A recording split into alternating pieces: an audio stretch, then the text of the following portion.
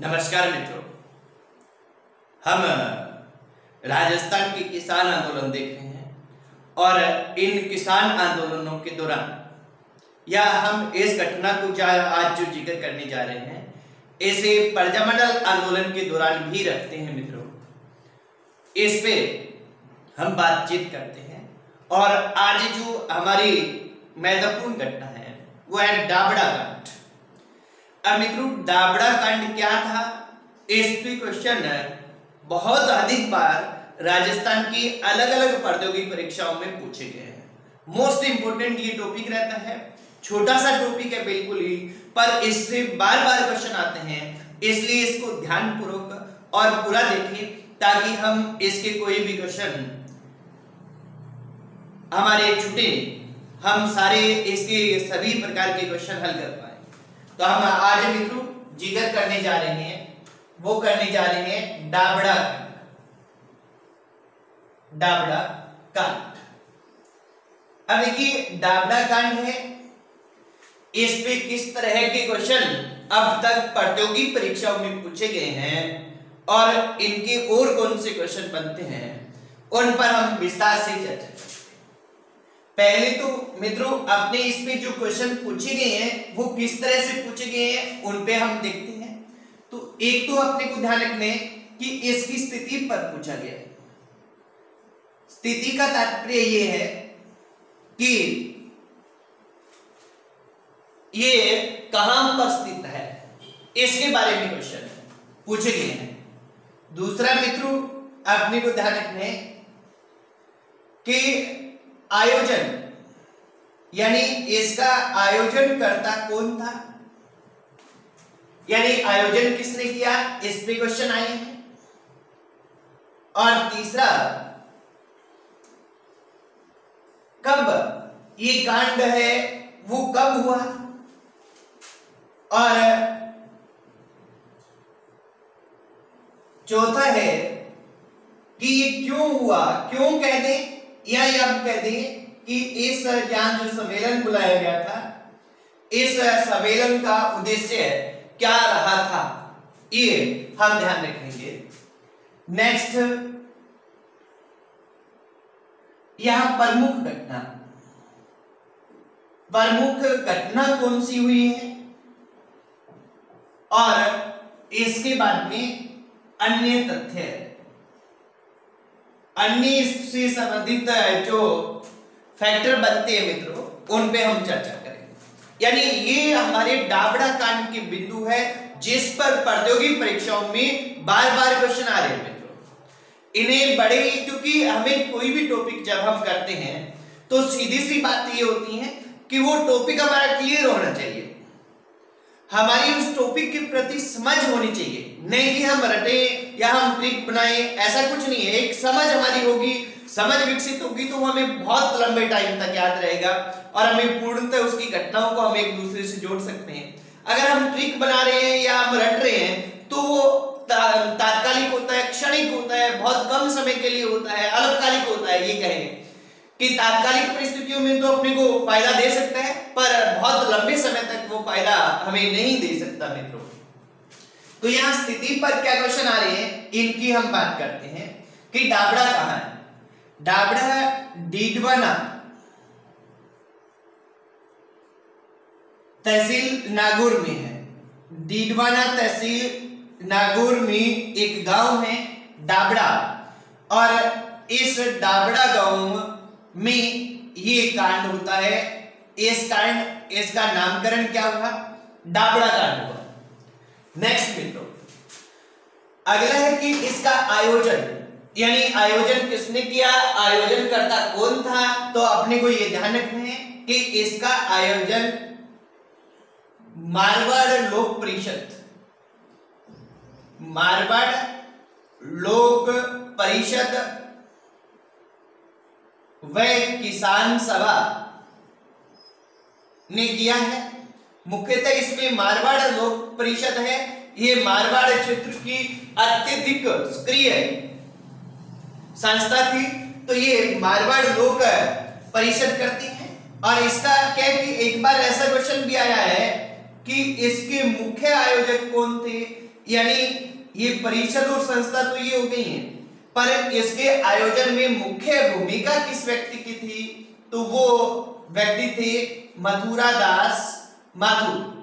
यानी मथुरा दास माथुर है, इन्होंने इसके मुख्य आयोजन करता थे ये, इस संस्था के साथ। नेक्स्ट मित्रों, कि ये कब आयोजित हुआ? कब? कब ये घटना होती है? वो होती है तेरह मार्च उन्नीस को। ये मोस्ट इंपोर्टेंट है मित्रों। ये डेट बहुत ज़्यादा इंपोर्टेंट है। बहुत बार राजस्थान की प्रतियोगी परीक्षाओं में पूछी जा चुकी है। हमें बहुत अच्छे से याद रखना है कि डाबड़ा कांड कब होता है?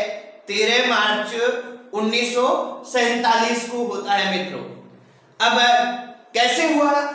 क्यों हुआ? तो इसके पीछे देखिए मित्रों, ये था कि मारवाड़ लोक परिषद और जो किसान सभा है, वो किसानों की मांगों को लेकर एक सम्मेलन का आयोजन करती है। अब ये सम्मेलन तो किसानों की मांगों को लेकर है, पर इसका एक तात्कालिक कारण भी है, जो कभी पूछा जा सकता है, अभी पूछा नहीं गया है। इसका तात्कालिक कारण क्या था? तात्कालिक कारण था कि पोकरण से 700 पुष्करणा ब्राह्मणों को बिना कारण निकाल दिया गया। तो 700 पुष्करणा परिवार है ये 700 पुष्करणा परिवार पोकरण से निकाल दिए गए हैं और बिना कोई कारण के निकाल दिए गए हैं, दादागिरी करते हुए निकाल दिए गए हैं। इसलिए क्या है कि ये आयोजित होता है, हालाँकि मारवाड़ लोक परिषद और किसान सभा किसानों की अन्य सभाओं के लिए भी विचार विमर्श इसमें करती है, पर तात्कालिक मुद्दा ये था अब जैसे ही ये आयोजन रखा जाता है तो यहाँ के जो जागीरदार हैं वो जागीरदार इसके विरोध में है, वो आयोजन करवाना नहीं चाहते और यहाँ ये लोग करना चाहते हैं। तो जागीरदार पहले से ही अपना रावला रावला किसको बोलते थे मित्रों? रावला जो जागीरदार का निवास स्थान होता था बड़ा सा, उसको कहते थे। और अपने रावले में बहुत से राजपूतों को बुलाकर, लठेतों को इकट्ठा कर रखा था पहले से कि ये अगर आयोजित करेंगे तो हम इन पर हमला करेंगे। और ये जो आयोजन होता है मित्रों ये आयोजन होता है, एक किसान था मोतीलाल चौधरी। इस मोतीलाल चौधरी की घर पर इसका आयोजन होता है। मोतीलाल चौधरी के घर पर ये इकट्ठे हुए हैं किसान, और मोतीलाल चौधरी के घर पर इकट्ठे हुए हैं, इसलिए क्या है कि ये इनके परिवार के साथ जो लठे थे बड़ी बदतमीजी करते हैं। कैसे करते हैं? वो अपने देखते हैं। ये जो प्रमुख घटना है, ये जैसा हमने देख लिया कि तेरह मार्च उन्नीस को होती है कहाँ पे होती है, मोतीलाल चौधरी के घर होती है और मोतीलाल चौधरी का घर अपने जैसे देख लिया है कि डाबड़ा गाँव में। मोतीलाल चौधरी के घर पर आयोजित ये सभा है और इस सभा पर जागीरदार के लठेत आक्रमण कर देते हैं। अब आक्रमण करते हैं तो इनका मुख्य मकसद क्या रहता है? क्योंकि जागीरदार ने पहले से ही क्या है, मना कर रखा था, फिर भी मोतीलाल चौधरी अपने घर में इसका आयोजन करवा रहे हैं। तो सबसे पहला मकसद था, वो उनका परिवार था। तो मित्रों, इसमें मोतीलाल चौधरी के भाई, मोतीलाल चौधरी के पिता, मोतीलाल चौधरी की पत्नी को इनको भाई और पिता को तो मार दिया जाता है, पत्नी को कुरूप कर दिया जाता है और मोतीलाल चौधरी की माँ के पैर काट दिए जाते हैं। यहाँ घिनौनी हरकतें होती है। महिलाओं पर भयंकर अत्याचार किया जाता है और यहाँ पुरुषों को पीटा जाता है, इसमें सैकड़ों लोग घायल होते हैं। मित्रों, यहाँ अपने को ध्यान रखना है कि इसमें सैकड़ों लोग घायल हुए हैं। सरकारी रिपोर्ट के अनुसार यहाँ छह लोग मारे गए हैं। पर छह लोग कभी भी पूछे नहीं गए देखिए, ऐसा माना जाता है कि अधिक लोग मारे गए थे। इसके अपुष्ट आंकड़े हैं। ये स्पष्ट नहीं है, पर छह लोग मारे गए हैं, ये सरकारी रिपोर्ट में दिया गया है। पर अपने को याद ध्यान रखना है कि अभी तक राजस्थान कंपटीशन में इनके बारे में एक बार क्वेश्चन आ चुका है, उसमें छह ऑप्शन नहीं था, पाँच था, पाँच माना गया है। पर सरकारी रिपोर्ट में छह दिया गया है और यहाँ पाँच लोग भी अपने ध्यान रखना ऑप्शन को देखकर, हालाँकि ऐसा क्वेश्चन पूछा नहीं जाएगा, क्योंकि ये विवादित है और विवादित जहाँ विवादित होता है, वहाँ डिलीट होने की संभावना रहती है। तो या तो दिया नहीं जाता और आ भी जाता है बाई चांस तो वो क्वेश्चन डिलीट हो जाता है। उसकी हमें चिंता नहीं करनी होती। अब मित्रों, जैसे ही आक्रमण होता है और यहाँ लठित आक्रमण करते हैं, किसान मारे जाते हैं तो यहाँ किसानों में कुछ एक किसान है, वो जाट रेजिमेंट के सिपाही भी थे। और वो किसान अपनी बंदूक सहित यहाँ आए हुए थे। और बंदूक सहित आए हुए थे तो उन्होंने गोली चलानी प्रारंभ कर दी। गोली चलानी प्रारंभ कर दी तो यहाँ के जागीरदार के भाई थे मेहताब सिंह। जागीरदार के भाई मेहताब सिंह है, ये मारे गए हैं। ये मित्रों इंपोर्टेंट क्वेश्चन है। इसको विशेष कर ध्यान रखेंगे। ये क्वेश्चन पूछा नहीं गया है कि जागीरदारों की तरफ़ से भी इस कांड में कोई मारा गया था क्या? बिल्कुल मारा गया है मित्रों कौन मारा गया है? मेहताब सिंह और जो यहाँ के जागीरदार के भाई है, उनकी गोली लगने से मृत्यु हुई है और गोली किसके लगी है? जाट रेजिमेंट के सिपाही थे, जो इस क्षेत्र के किसान परिवारों से संबंध रखते थे और वो इस आंदोलन में भाग लेने के लिए आए हुए थे। और उन्होंने इसमें गोलीबारी की थी, जिसमें मेहताब सिंह मारे गए। अब इसके बाद में मित्रों, क्या होता है कि यहाँ इसकी शिकायत है, वो बहुत जगह होती है। यहाँ कुछ एक समाचार पत्रों पे पहले हम बात करेंगे।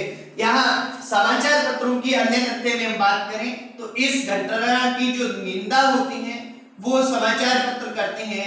कौन से समाचार पत्र करते हैं? एक तो वंदे मातरम करता है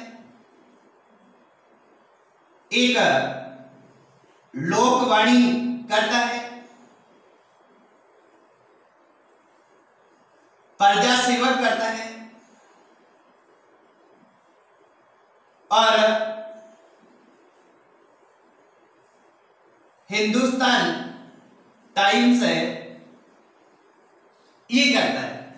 ये सभी समाचार पत्र है ये समाचार पत्र इस घटना की निंदा करते हैं। ये अलग अलग स्थानों से प्रकाशित होने वाले हैं, जैसे लोकवाणी है, जोधपुर से प्रकाशित हो रहा है। सॉरी लोकवाणी है, जयपुर से प्रकाशित होता है प्रजा सेवक है, जोधपुर से प्रकाशित हो रहा है। हिंदुस्तान टाइम्स है, ये दिल्ली से प्रकाशित हो रहा है तो ये अलग अलग स्थानों से प्रकाशित होने वाले सब समाचार पत्र इस घटना की निंदा करते हैं, पर यहाँ जो जोधपुर का प्रशासन है, वो इस ओर कोई भी ध्यान नहीं देता। यानी ये पूरी तरह से जागीरदारों का पक्ष लेता है और जागीरदारों का पक्ष लेता है और यहाँ जो किसान नेता गए हुए थे, बाहर से किसान नेता गए हुए थे, उन पर मुकदमे चलाए जाते हैं, जागीरदार के पक्ष में। और मुकदमे चलते हैं। इसके बाद में क्या होता है मित्रों? तो इस घटना के बाद भी जागीरदार का पक्ष जोधपुर की सरकार के द्वारा लिया जाता है, ये हम ध्यान रखेंगे। और लास्ट में क्या रहता है? बिल्कुल लास्ट में ये होता है कि जून 1948 में जोधपुर में एक मंत्रिमंडल का गठन होता है। किसके नेतृत्व में होता है? जयनारायण व्यास के नेतृत्व में। जयनारायण व्यास के नेतृत्व में जून 1948 में जोधपुर में मंत्रिमंडल का गठन होता है और इस मंत्रिमंडल के द्वारा क्या किया जाता है कि मथुरा दास माथुर और द्वारका दास पुरोहित इन नेताओं पर जो मुकदमे चलाए जा रहे थे, वो मुकदमे वापस लिए जाते हैं। कुल मिला के हम कहेंगे कि जयनारायण व्यास मंत्रिमंडल द्वारा मुकदमे हैं, जो किसान नेताओं पर चलाए गए हैं, वो जून उन्नीस में वापस लिए गए हैं। तब तक ये चलता रहा था मित्रों। यहाँ अपने को एक मथुरा दास माथुर का कथन ध्यान रखना है। मथुरा दास माथुर का कथन एक बार पूछा जा चुका है। मथुरा दास माथुर ने अपने बहुत समय बाद में ये मथुरा दास माथुर है, ये राजस्थान सरकार में कैबिनेट मंत्री भी रहे आज़ादी के बाद। तो इन्होंने बहुत समय बाद में कहा कि मैं अपने 50 साल के राजनीतिक करियर में पीछे मुड़कर देखता हूँ। तो डाबड़ा घटना है। ये डाबड़ा घटना मुझे झकझोर देती है।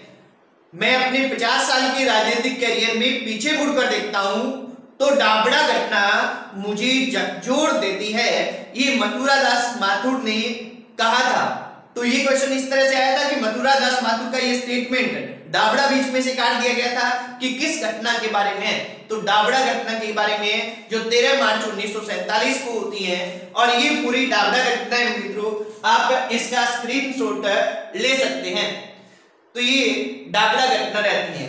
कल हम फिर नए टॉपिक के साथ मिलते हैं मित्रों, और आज इतना ही।